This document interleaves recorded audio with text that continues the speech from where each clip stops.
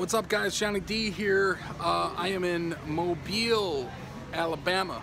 And uh, this place has a little bit of a New Orleans slash Austin slash um, you name it kind of feel to it.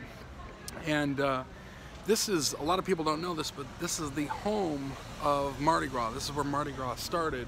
So my question, you know I like the questions, my question to you is, what's your favorite summer fest? Almost like a, you know, Key West has Fantasy Fest, um, Mobile was the home of Mardi Gras. I better get out of the way before this car hits me. And nice job.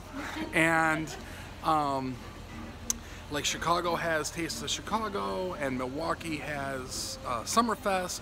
So you guys tell me, put it in the comments below, your favorite Summerfest activity or fest in general. It could be Mardi Gras if you're New Orleans or whatever.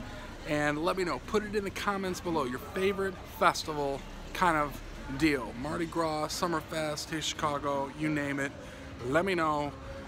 Grabbing some dinner and maybe an adult beverage from the streets of Mobile, Alabama. See you soon. Thank you.